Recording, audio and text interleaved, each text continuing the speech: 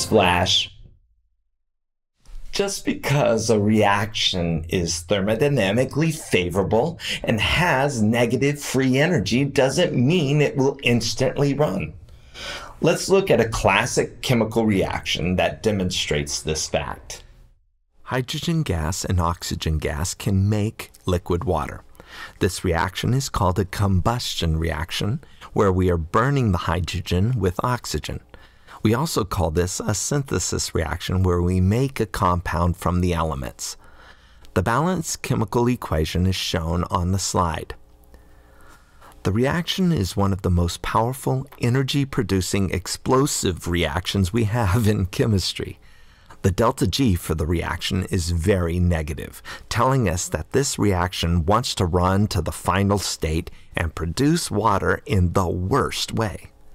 The problem is, if we have oxygen gas and hydrogen gas together in a balloon, my oxygen hydrogen balloon won't react to form water.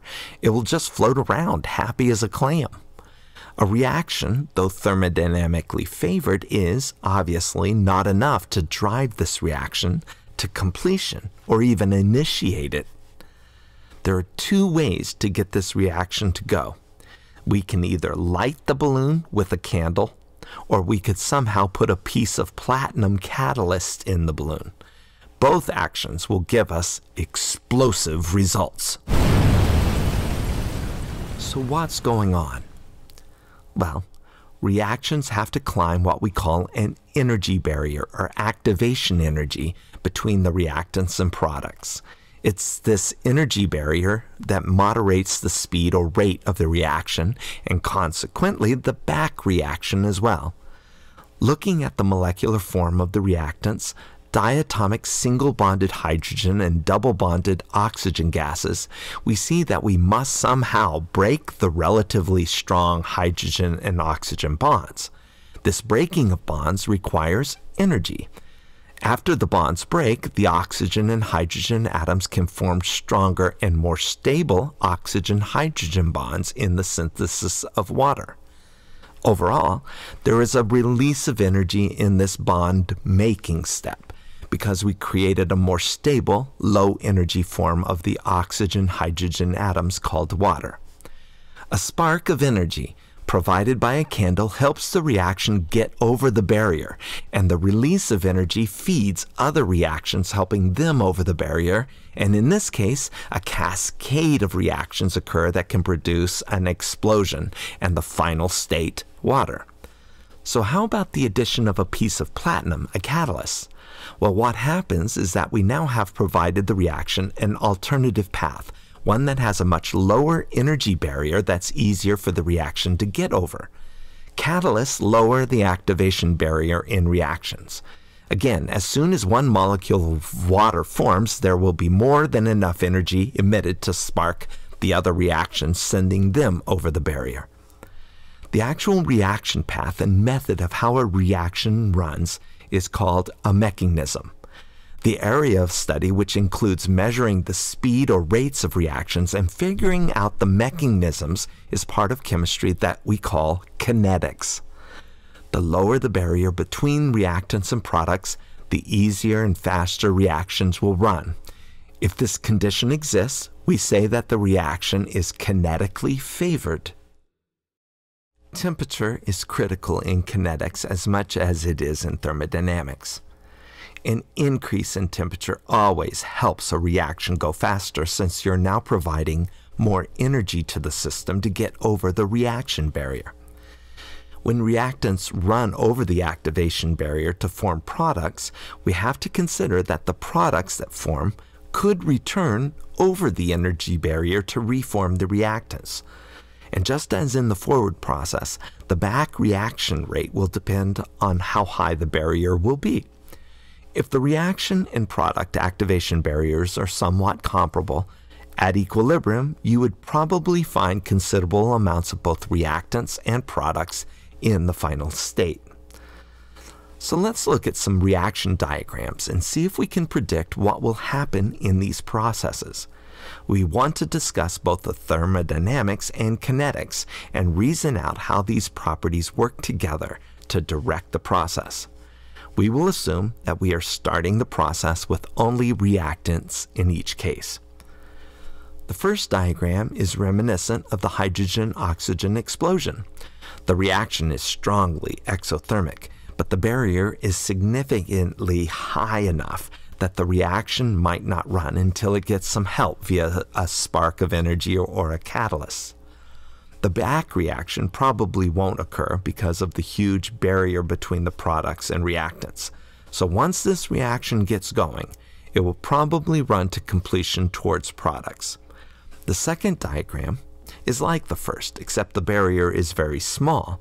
More than likely, this reaction will happen quickly and spontaneously at moderate temperatures. These temperatures should provide more than enough energy to get over the barrier.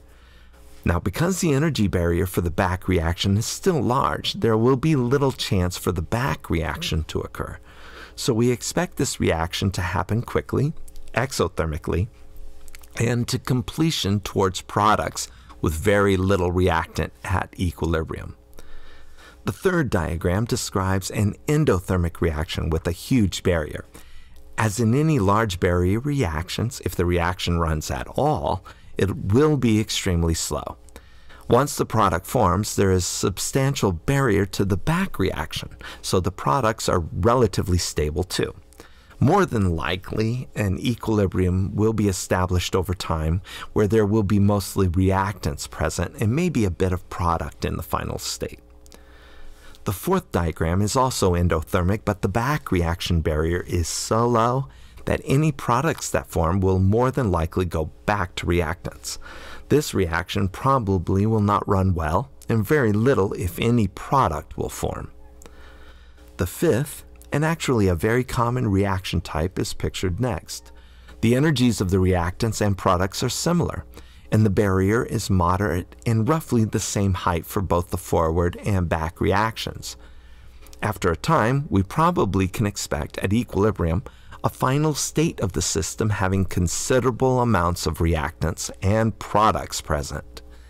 The speed at which this equilibrium condition is achieved will depend on the barrier height, and as for all reactions, the smaller the barrier, the faster the system finds equilibrium.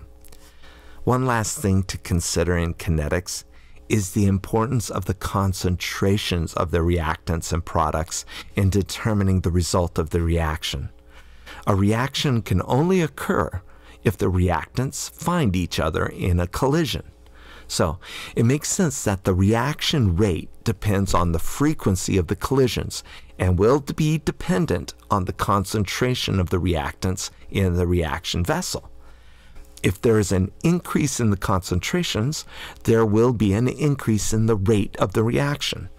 Once the collision occurs, does it have enough energy in the collision and have the right orientation to get over the energy barrier? Well, you first have to have the collision before we can answer that question. It becomes a probability game. The more collisions we have, the greater the probability we have of finding collisions with enough energy to get over the energy barrier to form reactants. You can see again why temperature increases always the speed of reactions.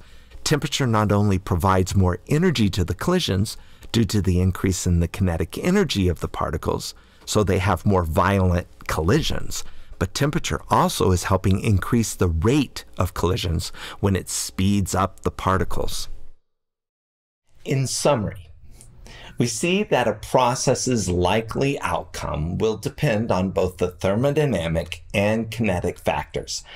For reaction to run to completion from reactants to products promptly, the reaction must be thermodynamically favorable first, or it will never run, and kinetically favorable, or it will never run fast enough.